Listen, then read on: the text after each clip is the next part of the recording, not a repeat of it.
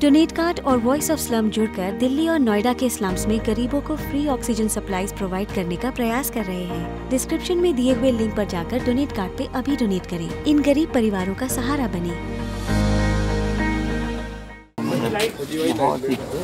ही है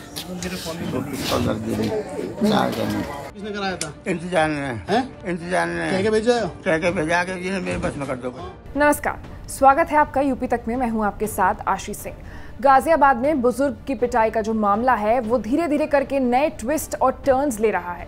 कहानी को सुलझने के बजाय और भी ज़्यादा कहानी उलझते चली जा रही है। इस कहानी के चार पहलू हैं, वारदात, पीड़ित, आरोपी और पुलिस। मैं आपको सिलसिलेवार तरीके से बताऊँगी कि मामला क्या है, किसने किसको क्या कहा, पुलिस ने क्या बताया। सबसे पहले शुरुआत करेंगे 5 जून 2021 से। मामले में दो आरोपी हैं, प्रवेश गुर्जर और सद्दाम। 5 जून को अब्दुल समाद पहले सद्दाम के घर और फिर प्रवेश के घर गया। उसके साथ वो वहाँ दाढ़ी काटने और मारपीट की वारदात को अंजाम दिया गया। उसके बाद आता है 7 जून 2021 7 जून को बुज़ुर्ग समद ने अज्ञात लोगों के खिलाफ मारपीट की तहरीर दी। इस तहरीर में जबरन जय श्री राम के नारे लगाने की भी बात कही गई है। शिकायत के आधार पर लोनी बॉर्डर पुलिस ने मारपीट की एफआईआर को दर्ज कर ली। 7 जून को ही एक लोकल लीडर, उम्मेद पहलवान ने अब्दुल के साथ फेसबुक पर एक लाइव वीडियो किया। और पुलिस का कहना है, उन्होंने आरोप लगाया है उम्मेद पहलवान के ऊपर कि उम्मेद ने अब्दुल से झूठी बातें कहलवाई, जैसे कि दाढ़ी कटवाना और जय श्री राम के नारे लगाना। आपको बता दूँ कि उम्मेद पहलवान वही शख्स है जिसका आजकल तस्वीर काफ़ी वायरल हो चुकी है।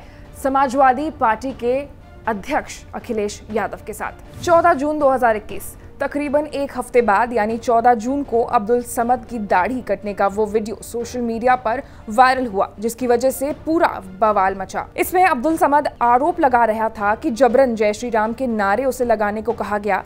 इसी दिन पुलिस ने दो आरोपियों को गिरफ़्तार भी किया। हालाँकि पुलिस ये दावा भी कर रही थी कि पूरा विवाद ताबीज बेचने को लेकर हुआ था और इसमें धार्मिक एंगल नहीं है। अगला दिन 15 जून 2021 पुलिस का आरोप है कि मारपीट वाले वीडियो में छेड़खानी की गई है। 15 जून को वो भड़काऊ वीडियो ट्रेंड होने लगा। इसी दिन पुलिस ने ट्विटर समेत नौ के खिलाफ केस दर्ज कर लिया। ये इस मामले में हुई दूसरी एफआईआर थी। अगला दिन 16 जून 2021 16 जून को इस मामले की तीसरी एफआईआर दर्ज की गई। उम्मेद पहलवान के खिलाफ। पुलिस ने उसके खिलाफ दंगे भड़काने की साजिश रचने, धार्मिक भावना को भड़काने, नफरत फैलाने और आईटी एक्ट के तहत मामला दर्ज किया। इस बीच पीड़ित अब्दुल समद भी पुलिस की जाँच के दायरे में आ गया। यूपी तक से बात करते हुए गाजियाबाद, एसएसपी अमित पाठक ने दावा किया कि बुज़ुर्ग समद ने अज्ञात लोगों के खिलाफ एफआईआर दर्ज इसलिए कराया ताकि भविष्य में उसका फ़ायदा उठाया जा सके। ये एक स्थानीय नेता हैं, इन्होंने ही शुरुआत करी इस चीज़ को अलग रंग देते हुए, जबकि ये भी जान रहे थे कि मारपीट किसने करी है। तो इन्होंने भी तो शुरू में नाम नहीं बताया, इन्होंने भी उस वीडियो में कुछ और बातें कही, जबकि जो जिन शख्स की पिटाई हुई, उन, वो भी और जो ये कल जिनके खिलाफ एफआईआर दर्ज हुई, ये दोनों लोग जान रहे थे कि ये घटना किसने करी, किसने मारपीट करी, तब भी जो है सही बातें नहीं बताई। पुलिस के मुताबिक लोकल नेता उम्मेद पहलवान को सारी बातों का ज्ञान था। उसे पता था कि बुज़ुर्ग से जो मामला हुआ है, बुज़ुर्ग के साथ जो मारपीट हुई है, वो ताबीज को लेकर ही हुई है। बावजूद इसके उसने बुज़ुर्ग से झूठ कहलवाया।